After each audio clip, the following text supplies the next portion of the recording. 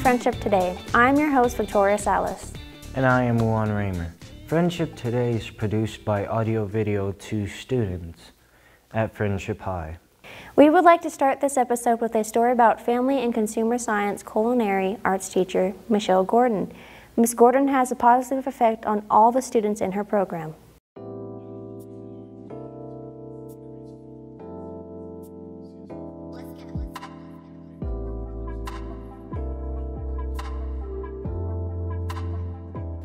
Um, I teach culinary arts here at Frenship High School. Um, this is my fifth year here at Frenship, and I love it. I teach six classes of culinary arts. I hope they like it. Um, sometimes I think there's a misperception of you just get to you just get in this class to eat, um, but there's a lot more to it. Learning about the food industry and how to properly um, be safe and sanitary in the kitchen. because um, we are, I am trying to prepare them for the restaurant industry, whether or not that's what they want to do. Hmm, masks, that's that's a hard one. Um, we have not cooked yet, but that will be um, tricky in the kitchen. Um, just just trying to be good about that and keep them on since we'll be in close proximity in the kitchen.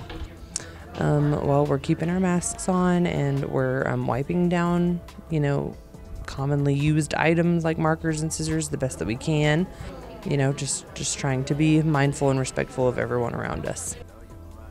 I like Miss Gordon because she's a really fun teacher and like we have lots of fun in that class. She teaches us how to like be properly clean when we're in the kitchen and she gives me food and like I get to eat in her class a lot.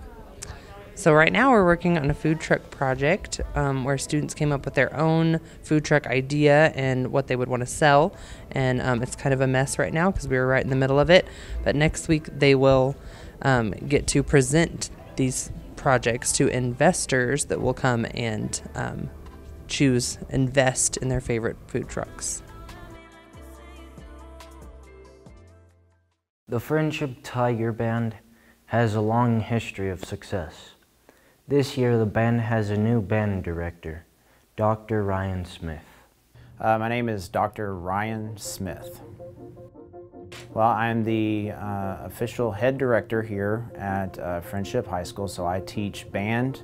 Um, we do them, you know, all us directors help out with all the ensembles, and so um, all the directors, we do the marching band. Uh, specifically, I have a, I also do the top ensemble, which is called the honors band.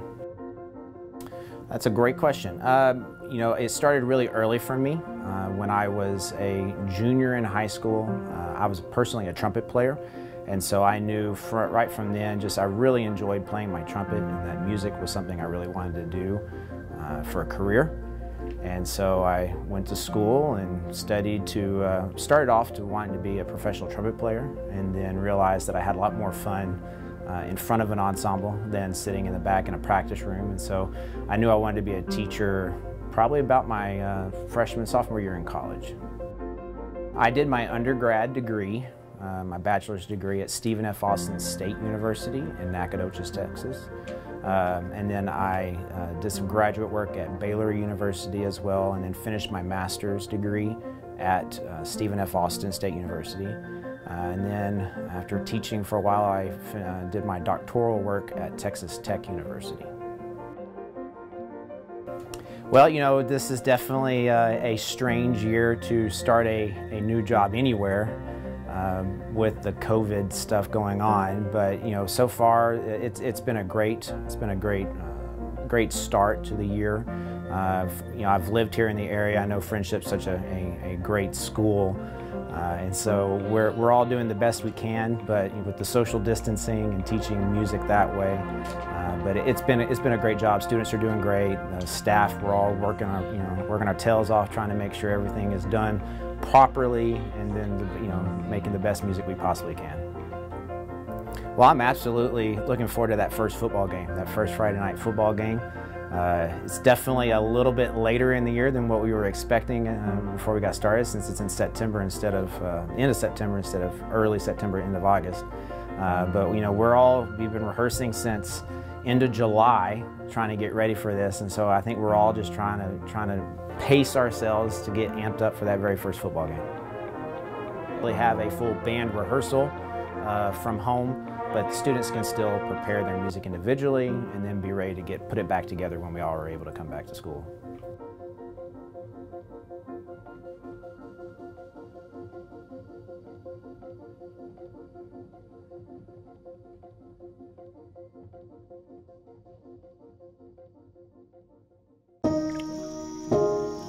This is the story of a boy who didn't talk for a long time.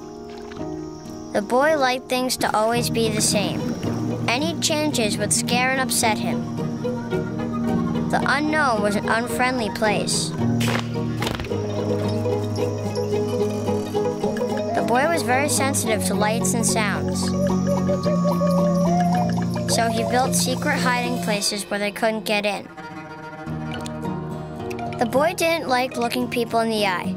He wasn't trying to be mean, it just made him feel uncomfortable. Sometimes he would flap his arms again and again. One day I found out I have something called autism. My family got me help.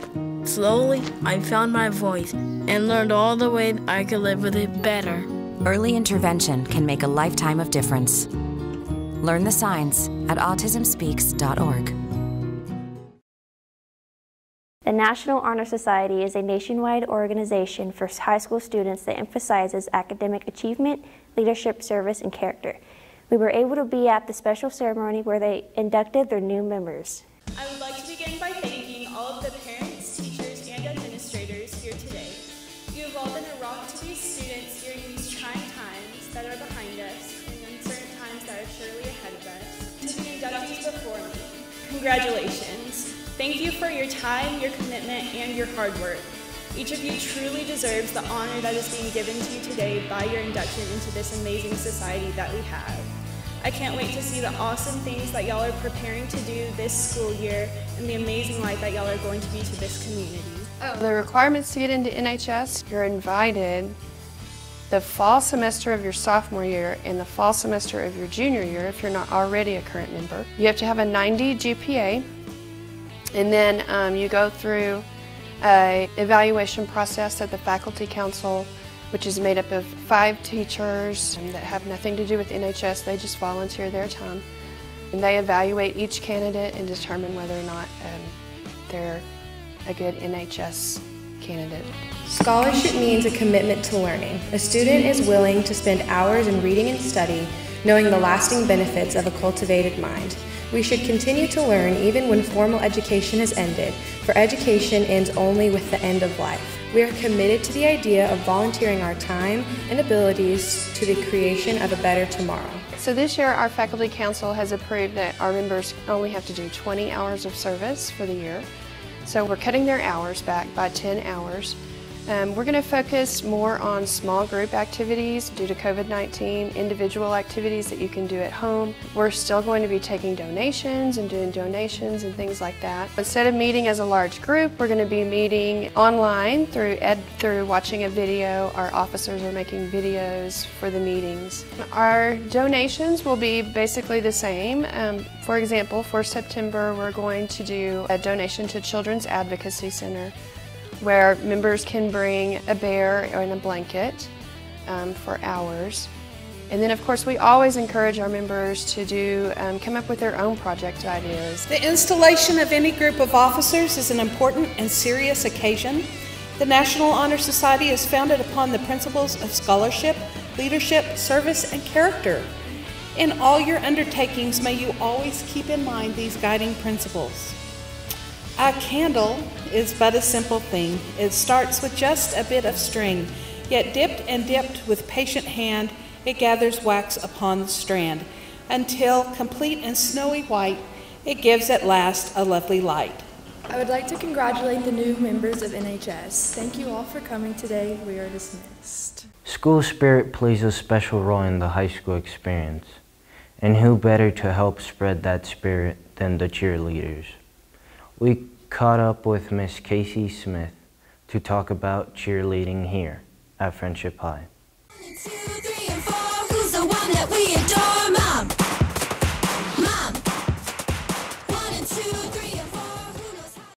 Well, I'm Casey Smith. I'm the cheer coach. I've been here for 15 years and the cheer coach for 11, I guess.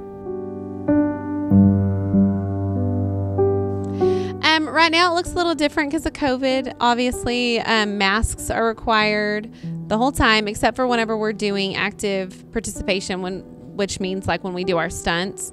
Um, girls are making sure that they're keeping their hands washed and sanitized, and we're just trying to maintain a normalcy um, as much as we possibly can. Right now, we're just keeping it to the class period, the 90 minute class period. Um, we usually have some practices outside of school, but we're just trying to keep exposure minimum. So, right now, we're just practicing during the school time.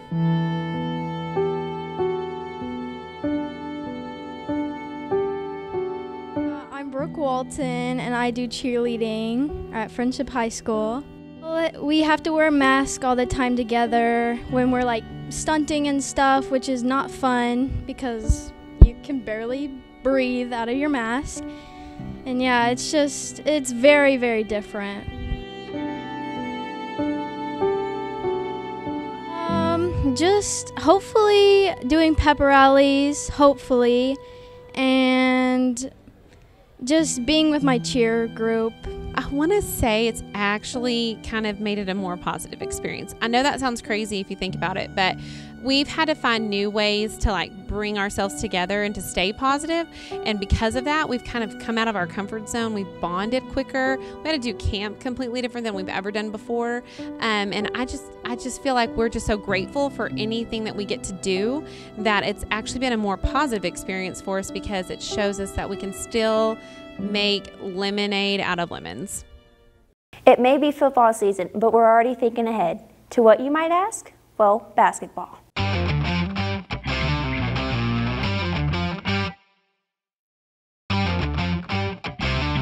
I'm the uh, head boys basketball coach here at Frenship, and this is my uh, seventh year here, seventh season here. So, uh, um, got here in, in 2014, uh, the time that uh, Frenship went to 6A. Uh, so I've been here during that time, and, and we've had had a great run here, and so we're excited about this upcoming season. Well, obviously it's it's going to be different because of um, you know obviously the, the changes due to COVID and.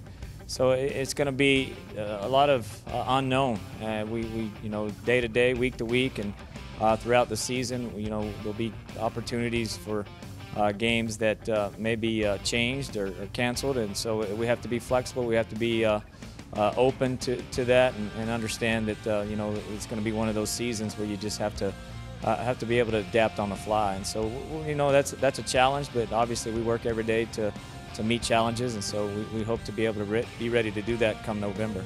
I like it. I mean, it's not like other schools they have to get up at like 6 a.m., so I like it. Uh, just having to wear a mask most of the time and having to social distance a lot. Uh, yeah, we wear it when we lift, but when we run, we're allowed to take it off.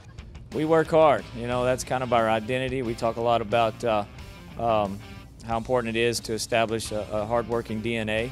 Uh, and, and that doesn't just happen, uh, you know, occasionally. Uh, you have to do that every day uh, to, to, to, set to get that mentality and, and to set that type of uh, tone that you want to play with. You, you have to do that on a day-to-day basis. So practice for us is, is not easy. Uh, we, we expect a lot from our guys and we demand a lot from our guys, and so. but they understand that that that that eventually is going to translate into the game where you have to be ready to play and play hard for 32 minutes. So uh, that's our expectation every day is, is to come ready and, and come ready to play hard and practice hard. Thanks for joining us for Frenship today. If you have a story idea, please share it with us at the email on the screen. Also, do not forget to go to Facebook and like our Frenship TV page, where you can see all kinds of videos and images from around Frenship ISD. Thanks for watching. We will see you next time on Frenship Today.